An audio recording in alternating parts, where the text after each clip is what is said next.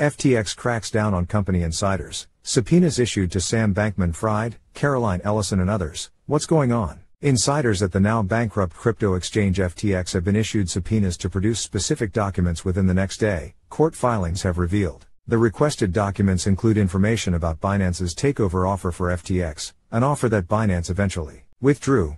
Other information requested included logs of internal communications between FTX executives, as well as evidence to back up certain tweets. Among the people who received subpoenas were former FTX CEO Sam Bankman Fried, his father Joseph Bankman, former Alameda Research CEO Caroline Ellison, and top FTX executives Gary Wang and Nishad Singh. All of the people were told to produce the requested documents by February 16, except for Bankman Fried who was given one extra day since he was asked for the most documents personal emails and real estate holdings. For Bankman Fried's part, the subpoena demanded information on companies such as FTX, Alameda Research and Emergent Fidelity Technologies. It also asked for copies of all emails from both his professional and personal accounts, as well as details on real estate holdings, and certain supporting documents to back up claims made in an interview with Vox in November last year. Nishad Singh, who served as FTX Director of Engineering, was asked to provide documents with technical details on several aspects of the business, including details on FTX's automated liquidation system. $250 million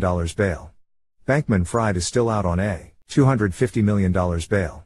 He currently stays at his parents' home in California, a home that has been described by the New York Post as a cozy residence on the edge of Stanford University's campus in Palo Alto, California. Both of Bankman Fried's parents are distinguished law professors at Stanford University. The former FTX boss has continued to blame his competitor Binance for FTX's downfall. He said in a blog post in January that an extreme, quick, targeted crash precipitated by the CEO of Binance made Alameda insolvent, and that Binance CEO Changpeng Zhao has run an extremely effective months long PR campaign against FTX.